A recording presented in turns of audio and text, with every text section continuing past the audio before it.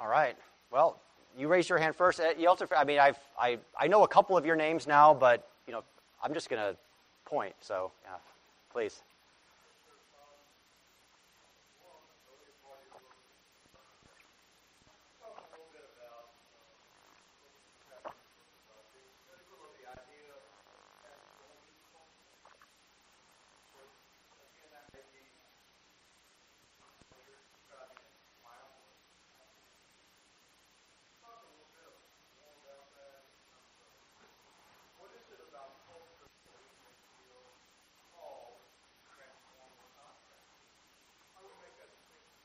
Okay, good. Thank you. Yeah, I'd be happy to, to answer that. As, in, in case you, you didn't hear the question, I, the, the question was uh, in my book, Living in, God's Two Kingdoms, I'm uh, critical of this idea of cultural transformation. And so, um, what's that all about? So, uh, I try to make a, a, a an important distinction.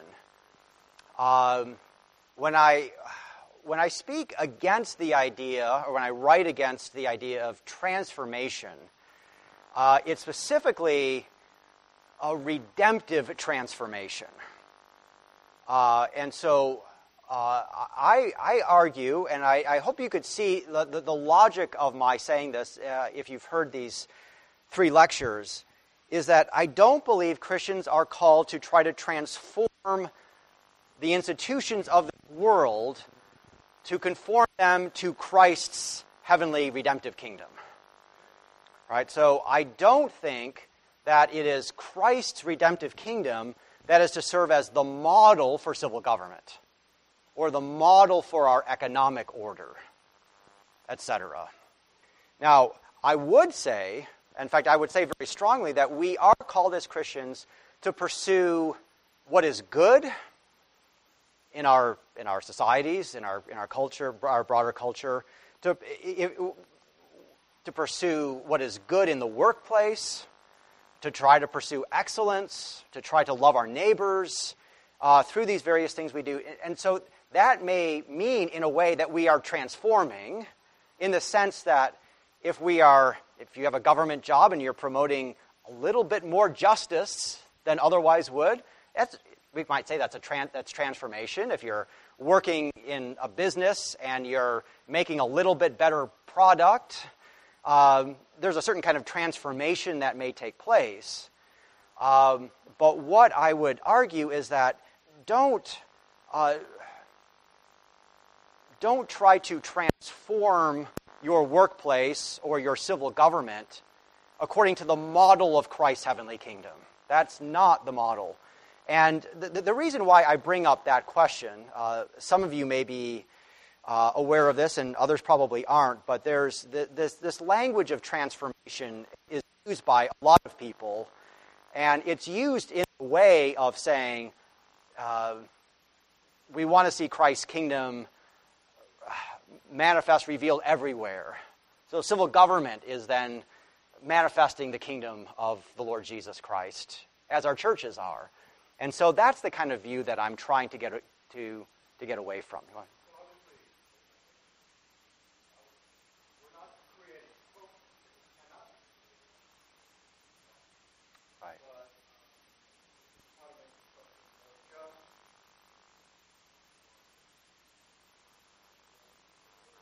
It is, yeah. I think that's right. And so I would say, uh, try, eh, yes, I mean, we, we have to give up utopian kinds of dreams, right? That the Lord doesn't promise us that in this present age.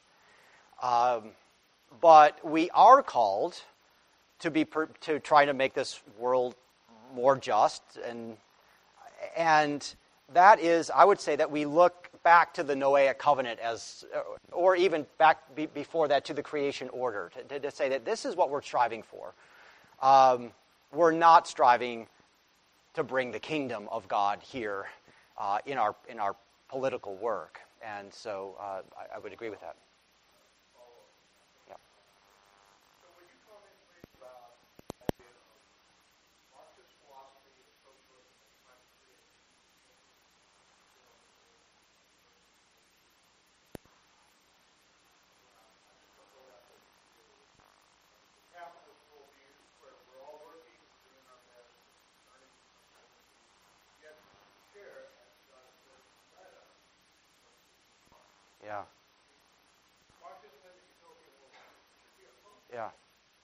Uh, well, I, you know, I think that there's, uh, whenever you have uh, isms, I think we always need to be alert to what is, you know, is there some kind of driving philosophy here? Uh, and uh, certainly, you say Marxism is a kind of a philosophy. It's quite an explicitly non-Christian philosophy. Uh, it's a, it's a, it's materialistic for one thing. We as Christians certainly must oppose that, and it has a kind of an eschatology, uh, in the sense that it is holding out hope for a kind of a humanly contained utopia in this present world.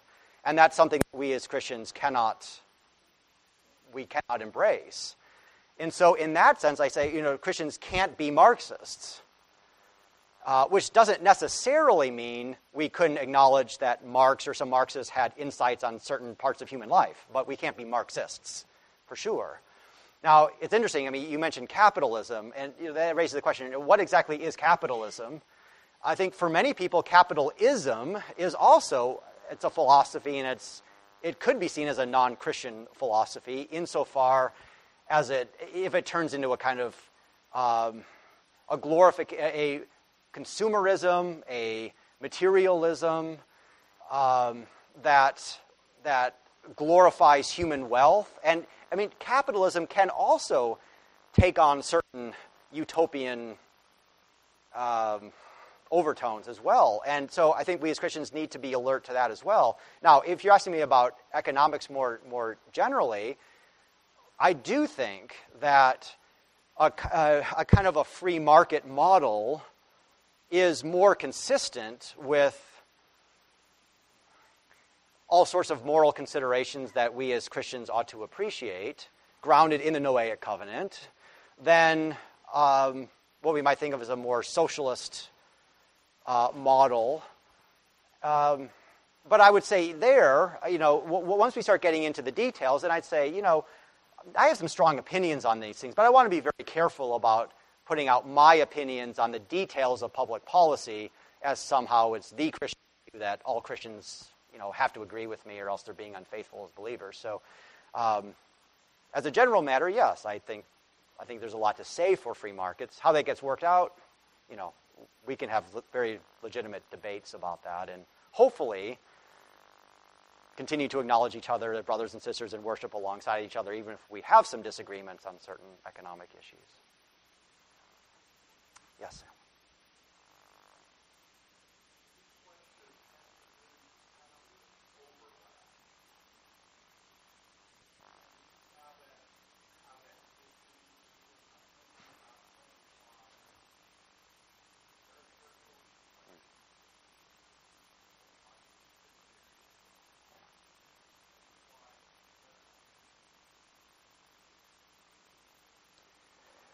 Yeah, yeah. Uh, it's a good question, and I think uh, I, I, think a challenging question in, in many ways. It, it yeah, it, it's. I, have certainly. I, I, would say that in, in my lectures here, I've been, I've been emphasizing the distinction uh, in God's work, God's common grace, His special grace, His the Noahic covenant and, and the New Covenant. I think those are very important. Um, I didn't talk as much about. I, I acknowledge, but I didn't talk as much about the fact that there is in overarching unity to God's plan in this world. And if we had more time, ideally, I would talk more about that. And I think one of the things that we would want to we'd want to think about is the fact that uh, there are ways in which these two kingdoms, these two rules of God, can and do support each other. And so, the church exercises the keys of the kingdom. It doesn't want to. It should not give those keys to any other institution. And yet, we recognize that the church depends upon other institutions in certain ways. Um, the church has an interest in civil government acting appropriately. Um, when civil government does its work, it protects the church. It provides a peaceful environment for the church to work. The church depends on the economic life of the world. Um, it wants its members to have jobs and to be able to support themselves and to, to, support the church and, and its work. Um, so, in, in those are just a couple of examples, but uh, you know there, there, are, there are many important questions uh, about how the two kingdoms, the institutions of the two kingdoms, support each other. Now, I take it your question is a little bit different from what I've just been talking about, in that there are some institutions that maybe don't fit clearly into one or the other. And uh, let's see, you, you mentioned uh, yeah, parachurch organizations and even seminaries, like the seminary where I teach. And um,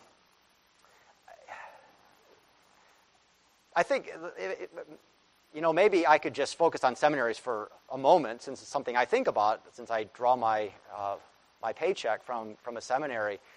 And uh, to be perfectly honest, I've, I've, I've, I've wondered sometimes would it be better if we, as, as Presbyterian Reformed in the United States, would it be better if we trained our pastors in church run seminaries rather than independent seminaries? Now, with, as, as, as you know, I mean, through, through a number of quirks in, in history, not all, but most training of confessional Presbyterian Reformed ministers takes place in independent schools, not in church run schools. I think if, if it was a church run, if the Orthodox Presbyterian Church had Machen Theological Seminary or something, um, we, you probably wouldn't have asked this question, but although it actually might, might, might raise uh, uh, similar questions. I guess I would say this.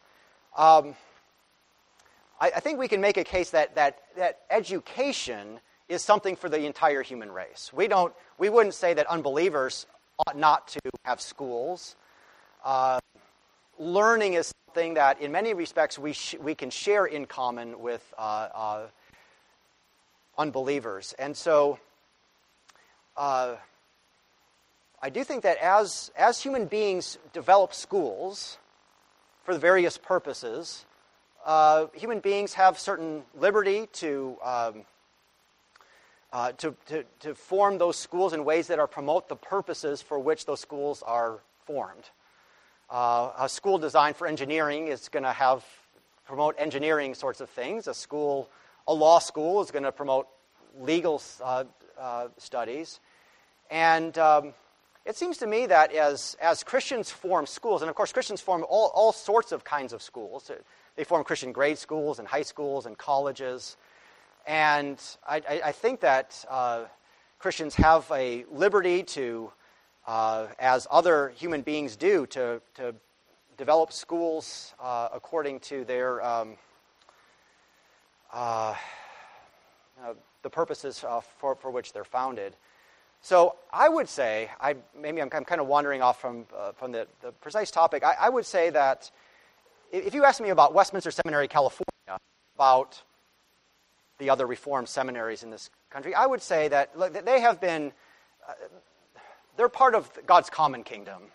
I, I mean, I, I, would say that the, um, we have, uh, we've organized these schools along the lines of other forms of higher education. We have accreditation from overarching uh, secular, uh, not, not, only, but it, it, we, we have uh, secular organizations that accredit us. We give degrees.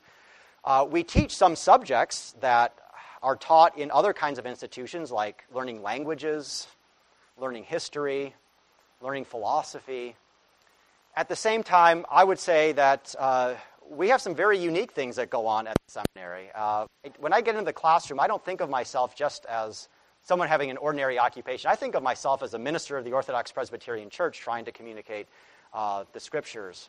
So I would see, uh, I would see our, our seminary as an institution of the common kingdom that has some very important goal, that, some important role in helping the church and serving the church. And whether or not that's the ideal way to train pastors, I, I just I want to be honest and say I'm not sure that's the ideal way. I'm not sure exactly what the ideal way is. There are, sometimes there are problems that emerge when churches form seminaries, and part of the reason we have independent seminaries is because of problems in denominational seminaries, as you know. so. Um, I think seminaries are a very interesting test case and I'm not entirely always sure what to say about them. uh, you asked about something else. Oh, medical missions. Yeah, this is, this is also uh, interesting. Um, I'll, try to be a lot shorter uh, on this one. Um, I am I, I guess you can put me in the camp of being skeptical about churches doing mission work, or I'm sorry, doing medical work. Um, I'm in favor of Christians going out into poor areas and doing medical work. In fact, this is it's something in some ways uh, close to my own family's heart. My mother in law uh, is a pediatrician, and when her husband, my, my father in law, died about 12, 13 years ago, she, she got involved in a, in, a, in, a, in a Christian organization that uh, does medical work in a dozen African nations. She lived in Africa for two years and has gone back there every year. She's 80 now. And um, I, I, like what they do, I think, in that this is, this is an organization that is, it, I mean, it's Christians who have gotten together and formed an organization that does this sort of thing and hires people like my mother in law who are competent to do medical work. Uh, it's not a work of the church. And I like that. I, I, whether you want to call that medical missions, sometimes the whole missions thing I think can be a kind of a difficult word to use. But Christians going out and doing medical work, I say form organizations that are equipped to do that sort of thing, but probably it's not the work of the church to be to be doing that kind of uh, labor. I, I, know the Orthodox Presbyterian Church has does a little bit of medical work in, in, in Africa, and I just I'll, I'll leave that aside without commenting on that. I, I, but I hope that gives you a little sense of the way I would approach it. Christians should do it, but I think do it in non ecclesiastical contexts. Yeah. Sure.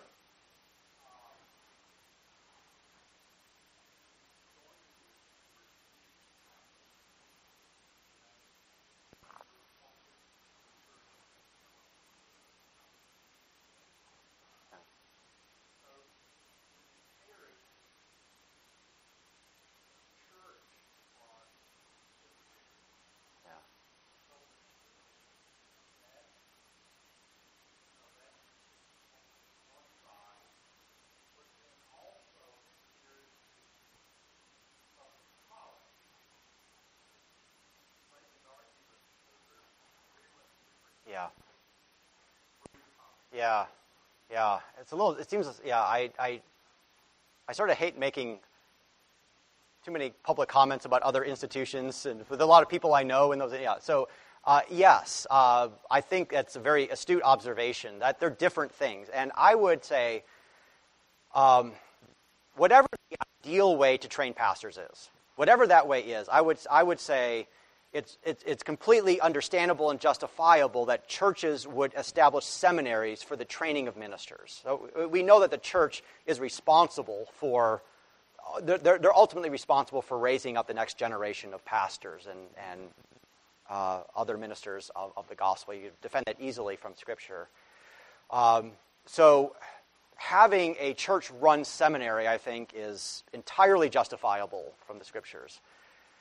Uh, I am kind of a skeptic about church run colleges. And it's not that I'm, I'm not a skeptic about having colleges that, you know, teach Christian truth, but I'm not sure that the church is really been ordained by the Lord Jesus Christ to be running institutions that teach biology and economics and medieval history and mathematics. Those are good things. We want our young people to be studying those things. And if we want to have a Christian college, I would say have parents, have, have other leaders get together and establish these institutions. And if you want to run it from a, you know, if, from a Christian perspective, great. But I would probably I recommend that that not happen being run by the Synod or the General Assembly of uh, of a church. I, again, I, and I would say I, we don't ordain ministers and elders for the church because they have expertise in teaching calculus um, or teaching physics. And so they're probably not the people that are ultimately ought to be responsible for, for, uh, for overseeing that. And I say it as someone who went to a denominational college. I went to Calvin College, which is, you know, sort of uh, analogous to, to to, to covenant. Yeah, yeah, yeah, in that way. So, yeah, those are my thoughts on that. Yes, sir.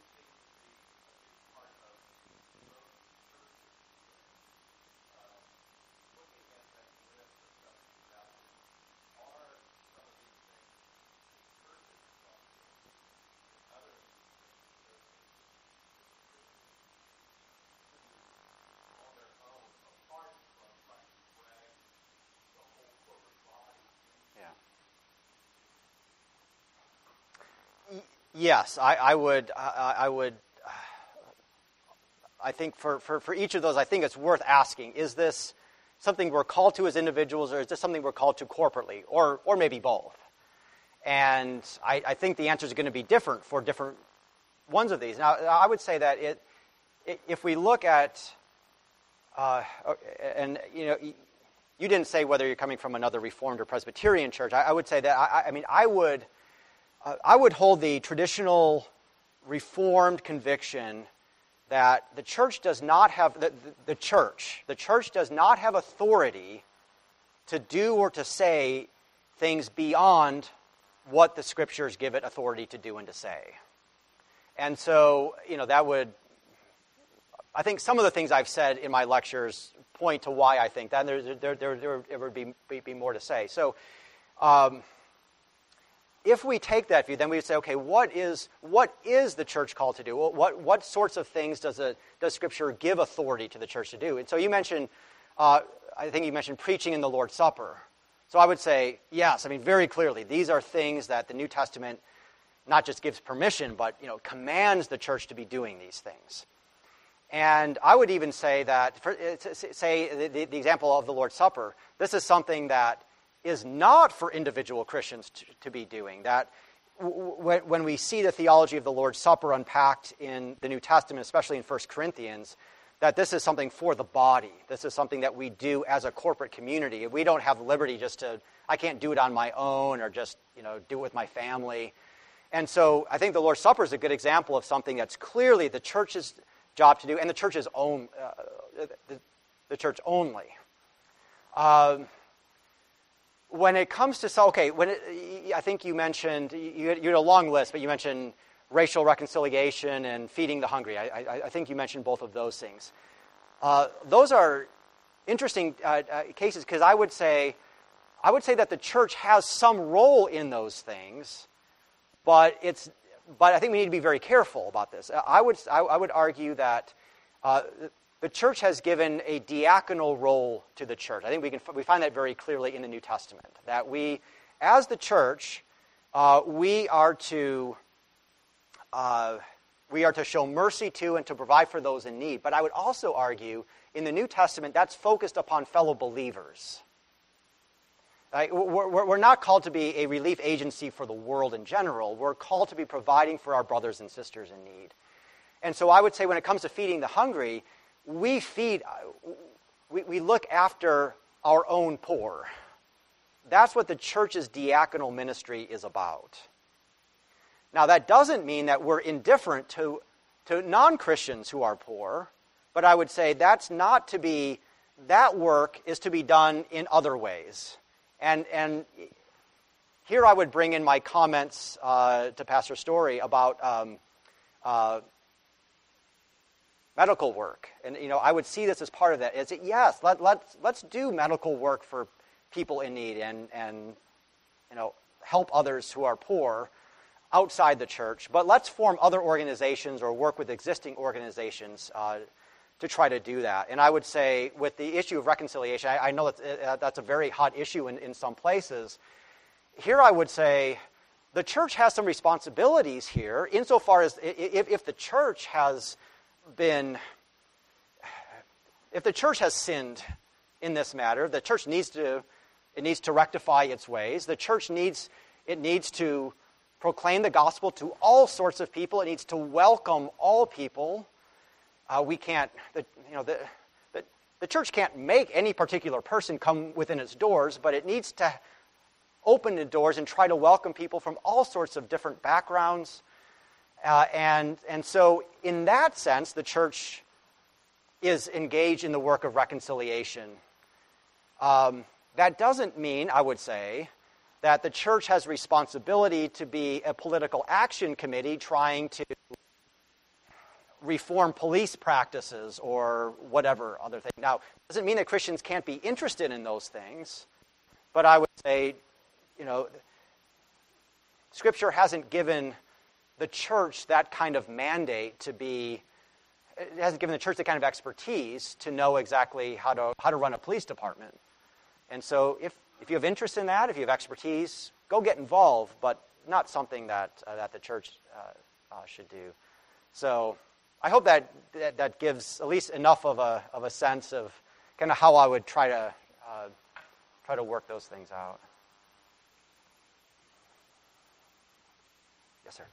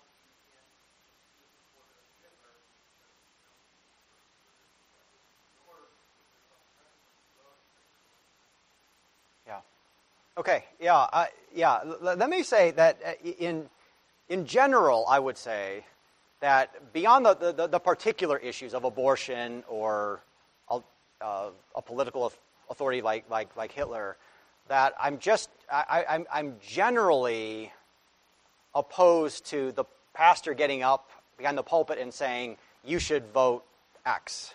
Even if it's very obvious, I would say. And the, the reason uh, for that is, I, I, mean, I believe that what the pastor does when he's expounding the word, uh, when he gets into the pulpit, he's expounding the word of God. And we, I think we need to be careful. And it's going to be hard to draw really bright lines here. Obviously, we, we, we do expect pastors to be trying to explain the word in ways that are relevant for the particular lives of the people who are sitting there listening to him. But I think the pastors need to be very careful about trying to get so specific that they are micromanaging the lives of their people. Uh, you know, what text exactly would it be that we're expounding that goes into, okay, now you need to vote. You know, we got this election coming up, so here's how you vote. So I, I would, generally speaking, I would say I, I would be very concerned about the, the violation of my obligation as a minister, the, as a minister of the Word of God, to be talking about such practical issues, such concrete issues as how you vote, as going beyond my responsibility to be, to be expounding uh, the Scriptures. And so that, that's part of the overarching uh, uh, uh issue. With respect to uh, abortion, uh, in a way, I'm not I'm not necessarily arguing that you know there's this hierarchy of, of issues and abortion is only here rather than here. I mean, I, I think to, to you, you, say you know uh, what other issue could possibly be as important as abortion, and I guess if if, you want me to say uh, uh, you know what about war? Um, that's also a Sixth Commandment issue. And sometimes war becomes a very controversial subject uh, in, our, in our politics. And war can involve the tremendous loss of life, the, the disruption of an entire society. And so, I, I mean, I, I think it's.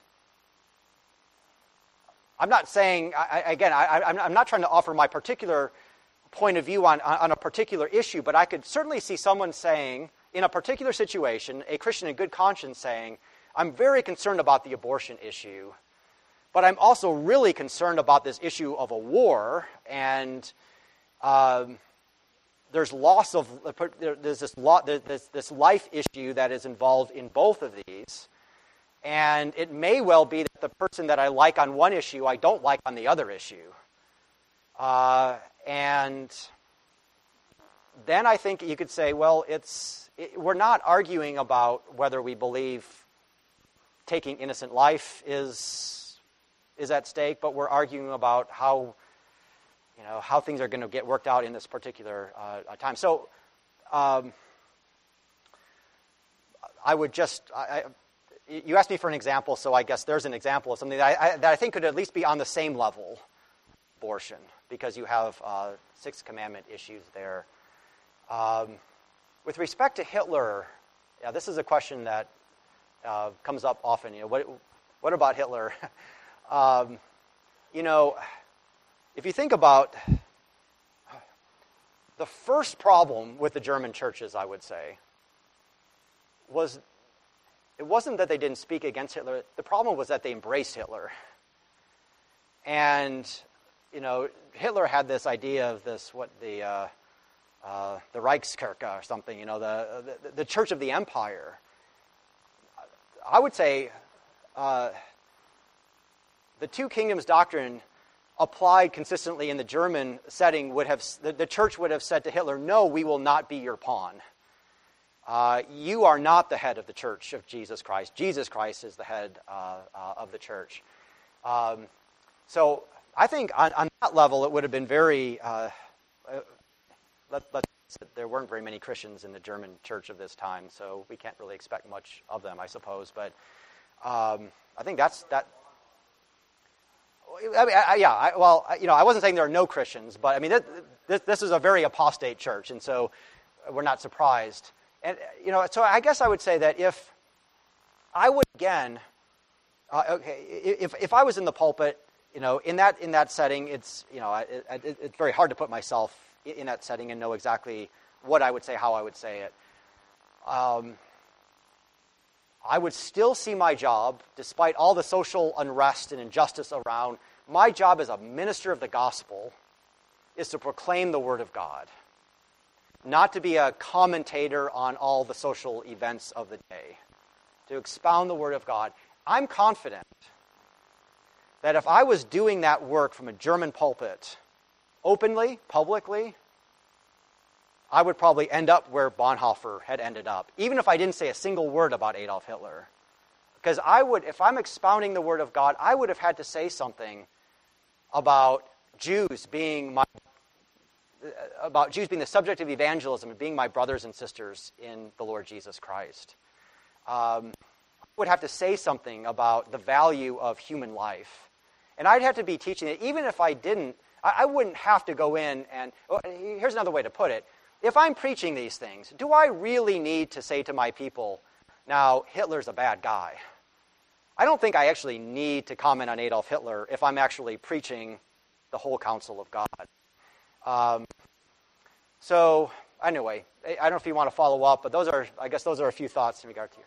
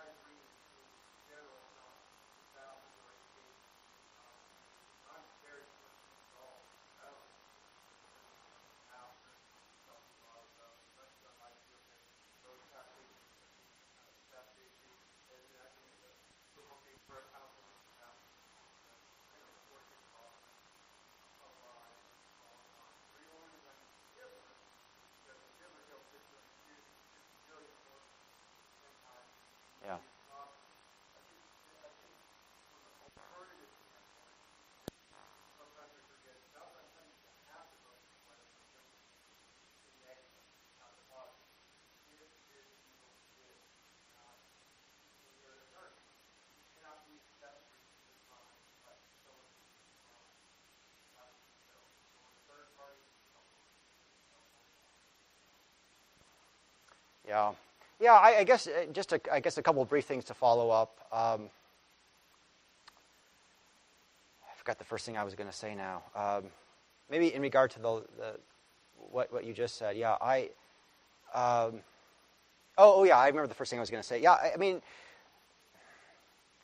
I think there may be value of distinguishing what is what is proclaimed from the pulpit as the exposition of the Word of God from some of the more general pastoral responsibilities that we have as ministers and elders is that I don't think the pulpit is the place to try to work out all of the micro details of life. But I do think there's definitely a role in our broader pastoral practice. We want to help our people to make wise, to, to live wisely in this world and to put that into practice. And so, as a pastor, uh, you're going you, you're to talk to people who are, who are thinking about, you know, how do I put this in effect in order to be a really good pastor? Or how do I deal with this difficult situation at work? How do I live in a way that's consistent with this? Or when I'm, you know, I, I'm, I'm, watching, I'm watching the news and I'm, I'm, I'm, I'm exercised about these political issues. How do I think about this? And I don't think the pastor is then going to say, don't talk to me about this. I think the, the, the pastor can say, um, okay, I, I, I, can help, I, I'm happy to help you try to think wisely about this because, because that's what it is. It's not like, you know, it, it, it, it's not the direct result of biblical exegesis that we know how to handle the difficult situation at work. It's a matter of having wisdom in order to live faithfully in a particular concrete uh, circumstance. And so I think as a pastor, we want to help people to grow in wisdom and to think through things well without trying to micromanage their lives or to, you know, be, you know, to act like, you know, we can make the calls on, on, on, on all these difficult things. Um, uh, well, you know, I mean, from the, again, I, I, I, have, I have absolutely no problem with talking about abortion as an atrocity from the pulpit. It's just when it comes to the strategy, I just want to, I want to hold back. Uh, so.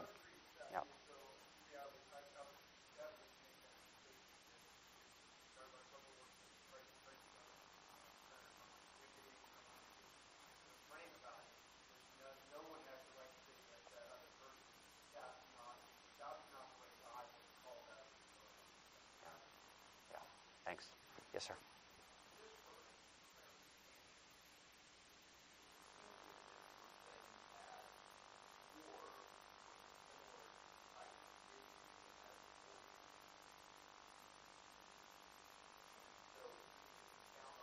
Yeah, sure.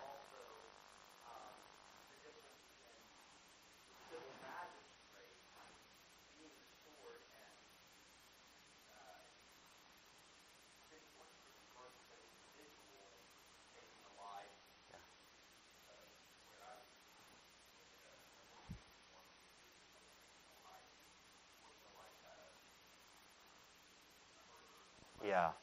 Okay. Okay. Yeah. Thanks. Yeah. Um, I can see how that that that could be confusing. I. I um, I would affirm certainly that civil governments, ha- as part of having the power of the sword, there's a power to wage war, to, to wage lawful war. Um, there are some times when that's, that's easy if you're your country is invaded by a hostile power. It's, there's no question. But it does, then there are, there are questions about other sorts of war. So, what I was saying there, I was sort of presuming that someone might make a judgment that an, an, an act of going to war is an illegitimate act. This is an act of aggression on the part of my own government. And so to say that uh, I mean, we've obviously had some incidences over, you know, over the past couple of decades in which th- this issue has arisen. And I, once again, I'm not trying to make comments. I, am not trying, trying, to take a position on the war in Iraq or um, Afghanistan. But of course, that, that th- these, th- these issues do come up. What is the legitimate exercise of that authority to wage war? So the point I was trying to make there is that someone might make a judgment that my country, my, my government is thinking about or has initiated uh, a, a unlawful war and is engaged in the taking of innocent human life. And so I would say that a concern about that could rise to a similar level as a concern about abortion, because in both cases we're thinking about um, uh, the, the unlawful taking of life. And one might, I, I don't know, it's, one might also say, and perhaps this gets to your second point a, a little bit, is that in the case of an unlawful war, it's actually the government itself that is doing the killing. Whereas you might say that in the case of abortion, it's not really the government. The, the, the government is, is erring by not preventing or punishing the unjust killing, but it's not itself doing it. So, you know, one might say that actually the unjust war rises to a high. But I, am not. I'm not trying to press that case. But I, I think that that, that, is a certain uh, issue. I think what we would say is that what I, I would want to say is that government has the obligation to wield the sword in defense of justice. And that means, that ought to mean, defending unborn human life, and it also means defending its own people from unjust uh, attack and not perpetrating unjust attack. So, yeah, I hope that clarifies what I was saying.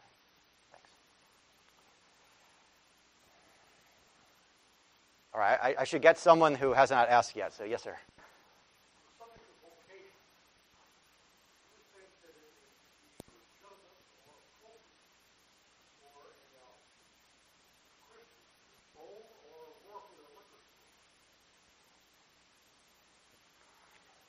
Do you?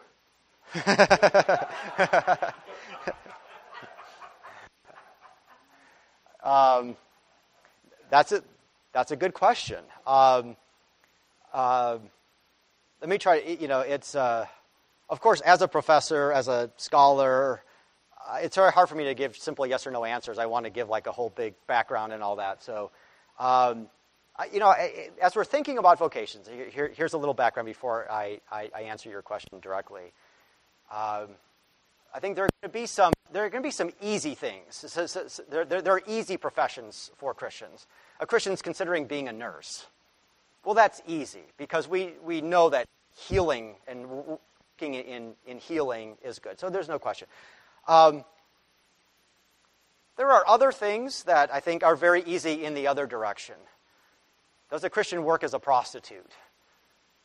sorry to bring, you know, use it, but I think th- th- there we have a very clear case where we're talking about something that's inherently evil. And so this is not something a Christian, uh, that's probably not the best example because most people in prostitution are really forced into it rather than uh, ch- uh, choosing it. Um, but there are some inherently evil things that Christians should not do. So I guess uh, that, that the question of working at a liquor store, I would say, uh, is, is is, uh, is more difficult than those easy ones because I would say, on the one hand, it's not inherently evil to sell someone liquor. Now, there may be, I guess this is the Bible Belt, so there are probably some people who would disagree with that, maybe not here, I don't know. I would say there's nothing inherently evil about drinking alcohol. In fact, it can, it can be a good blessing from God to, to drink alcohol in moderation. So if, it, it, if it's lawful to drink alcohol, it must be lawful to actually produce and sell it. I think where you're going is the fact that we all know that liquor is so often abused, and so often people use it for purposes that are um, that are not uh, uh, licit. Uh, so, how to think about those sorts of things, and actually, you could make that that that question more difficult, I think, by saying, is it okay to work at Walgreens or CVS? Um, a lot of things that are sold in a drugstore that are perfectly, perfectly good, but some people are going to buy the drugs on the shelf and use them. They might use them to kill themselves. They might use them to make illegal drugs. Um, they might buy condoms off the shelf and use them in, for uh, purposes of sexual immorality. What about that? I would say, uh, in, in thinking about these kinds of uh, cases, um, that as a general matter, if the act itself is lawful, then I believe we can't prohibit Christians from, from, from doing that. And so I would say uh, liquor is not inherently immoral. So I can't say to a Christian, as a general statement, you may not work at the liquor store. And I would say it's the things that are sold at Walgreens or CVS. Do you have, Wal- you have Walgreens and CVS here? Okay, I, you know. Um, I, was, I was trying to think of national chains that, you know, you would know. Um, that, that the kinds of things sold there are lawful things. And just because we know that some people are going to use them in improper ways doesn't mean that I can't work there. I, am staying at a hotel. I mean, I, I think you say the same thing about hotel. Is it okay to work at a hotel? Some people are going to rent hotel rooms and do things in them that are, that are immoral. But again, I, I would say that um, as a general matter, no, I would, I, I would say yes, it's lawful for Christians to work at such places. Now, I could see certain circumstances. You're working at a liquor store that's only open from 11 p.m. to 3 a.m. on Friday nights in a certain kind of neighborhood or something, in which the only valid, you know that the only, only people are, that are using this store is to get rip roaring drunk on the weekends. And I could, I could there I would, uh, then I think there could be issues of conscience, which is very different from working at a liquor store in which people are dropping in to buy a bottle of wine for their dinner uh, that night. So, thank you for the question. I think there are, uh, I, mean, I've, I've, I've, thought a lot about this, and I, I, I think there are some, some, some, some difficult cases, but uh, I hope that gives you a little sense of the way I try to answer that. Okay. Um, Pastor Story, and then, and then, and then so I, I think, yeah, we have time for a couple more here, so.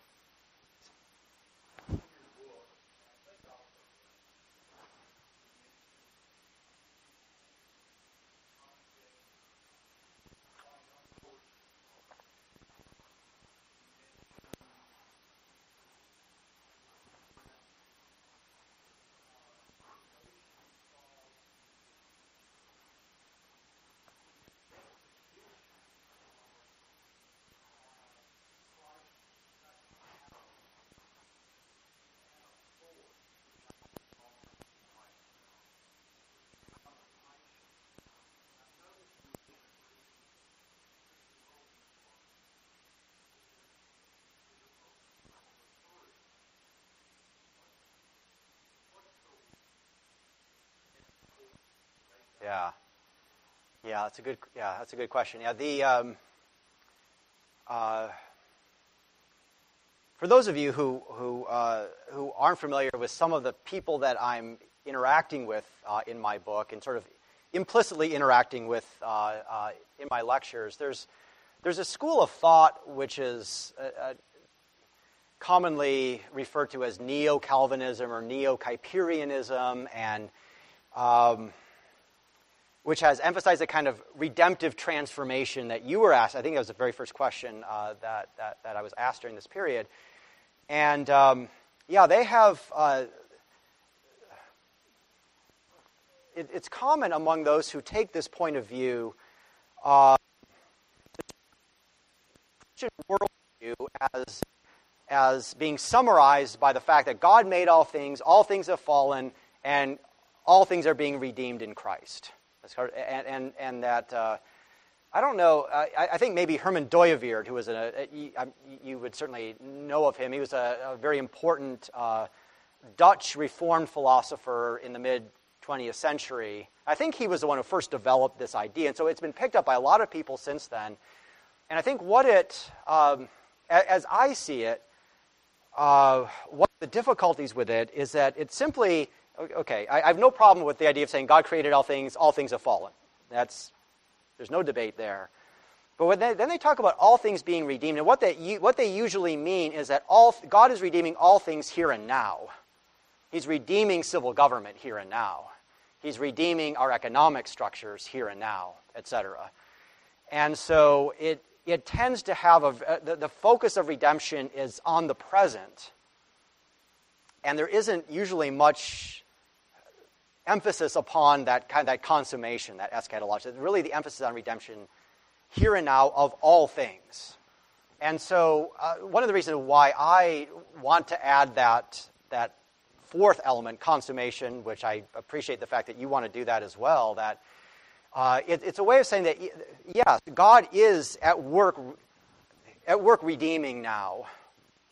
But we don't want to, I, think we don't want to speak in terms of this uh, kind of a cosmic redemption that's taking place here and now so that redemption, that we can talk about governments being redeemed. I don't think governments are the kinds of things that are redeemed what I would say is that it's not until the consummation that we see that worldwide cosmic restoration of all things.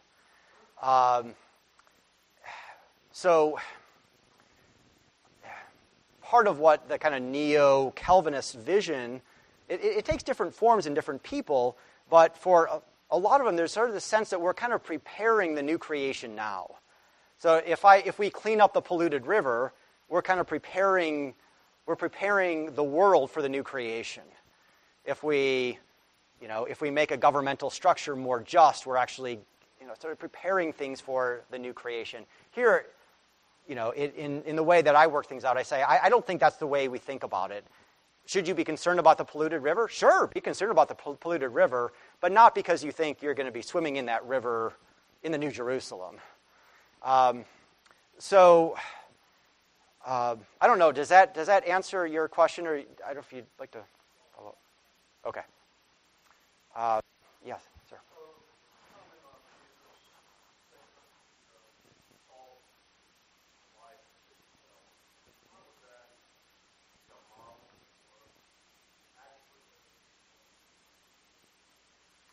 Yeah. Um, Yeah, I, I think, you know, there Jesus is, I would say he is, he's addressing the redemptive kingdom, we might say. I mean, he, it, it's very clear as, as, you know, that uh, as Jesus begins the Sermon on the Mount with the Beatitudes, blessed are, you know, theirs is the kingdom of heaven. So it's very much about the kingdom. He's not describing earthly political communities. I, now, that's not often observed among people. I mean, a lot of Christians have tried to bring to try to make the Sermon on the Mount a kind of a political manifesto, and I would say that's not a legitimate uh, use of it. So when he's talking about the, the city on a hill, we have to say he's talking about the community of the kingdom. He's talking about, about his kingdom as it's manifest here. And that, if you keep reading the Gospel of Matthew, of course, the, I'm talking about Matthew and the Sermon on the Mount because that's where this imagery of the city on the hill is.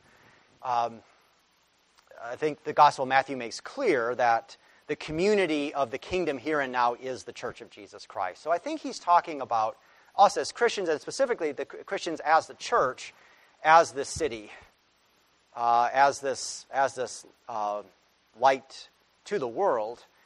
And I really, I, I have to think that, that he's primarily thinking about the proclamation of him. The proclamation of him as the one who has come to fulfill the law. I mean, that, that's right in that very same context in Matthew 5. I have come to to fulfill the law. And so I think we're proclaiming the gospel of Christ coming, fulfilling the law, bringing salvation to the world. That's the light of the world primarily. Now, I don't think that we can just write off then the fact that as, as we as Christians live out the kind of vision that the Sermon on the Mount sets forth, as we as individuals and, and as a church community, as we, as we as we model that kind of life by God's grace, I think it testifies to Christ and it serves as, uh, as, as, a kind of a, a witness that corresponds to our gospel preaching. Um, so, you know, I, I mean, I, maybe part of what you're asking is um, are, are, are we light of the world, salt of the earth, as we are getting involved in politics or economic development or science or art or whatever? And I would, I guess I would say I'm, I'm a little doubtful that that's what Jesus was really saying there. At the same time, do we as Christians bring good, should we be bringing good things into the world in whatever realm of life we're participating? I was absolutely. I, I hope so. I hope that we are, you know, whatever the term we use, that we are a kind of a light, uh, that we do bring a kind of a leaven into the world that is for the good of our of our neighbor, for the justice of the communities in which we're, we're, we're taking part. Uh, but I am I am kind of skeptical that that's that that's really what Jesus' focuses in the sermon.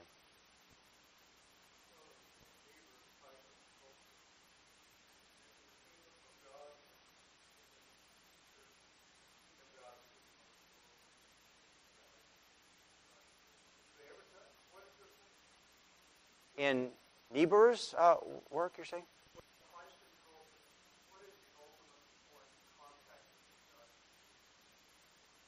In my view? Oh, okay. Um, well, I, I, guess I would say God Himself. God Himself is really the point of God, that God is the Lord of both of these. And uh, He's ruling them. I would say there's the same moral law that underlies them. So I think that's another point of contact. Moral law is summarized by, you know, the, the, Ten Commandments. Uh, so you know, they get applied and worked out in different ways. I think that's, that's, that's clear as well. But I would say that there's the same, there's the same Lord and the same basic moral structure that, that, that underlies them. And we as Christians, in a way, are a point of contact because we are called, we are citizens of both. And so um, that is a certain point of contact as well. All right, I think. Yeah, I, uh, uh, maybe one more question. I saw I saw a hand back, and we're we're coming. I think we're coming up on an hour. So why don't we make this the last question? Not to try to put too much pressure on you, but uh, yeah, yeah.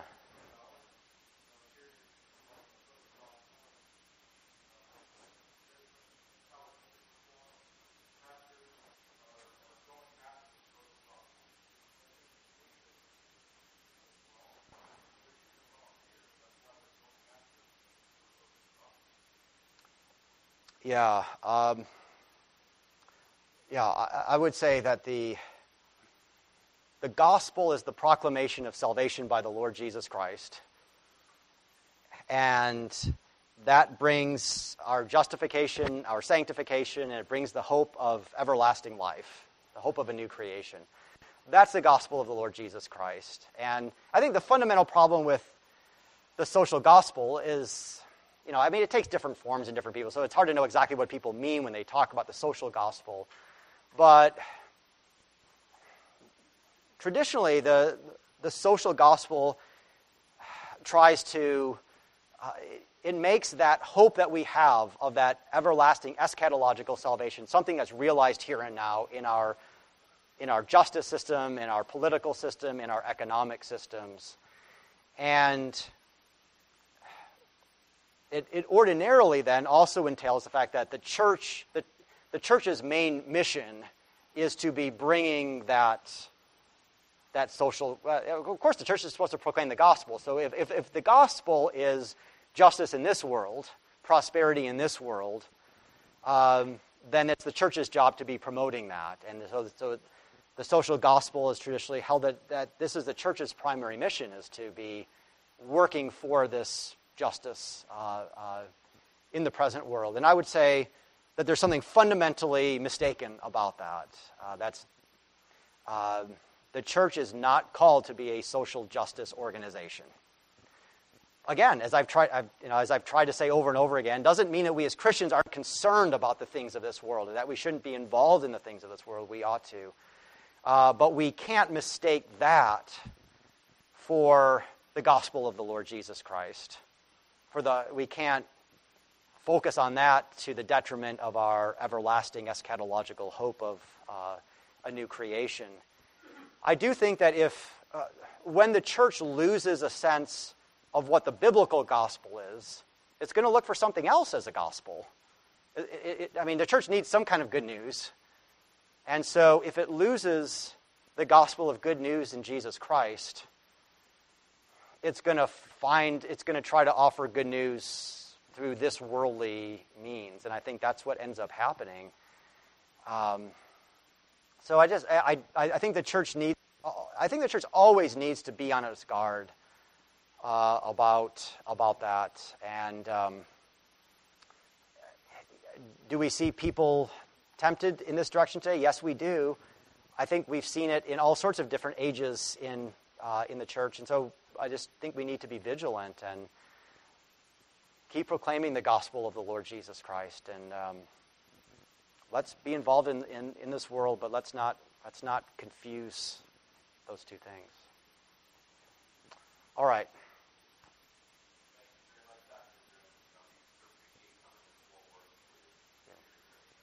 Thank you.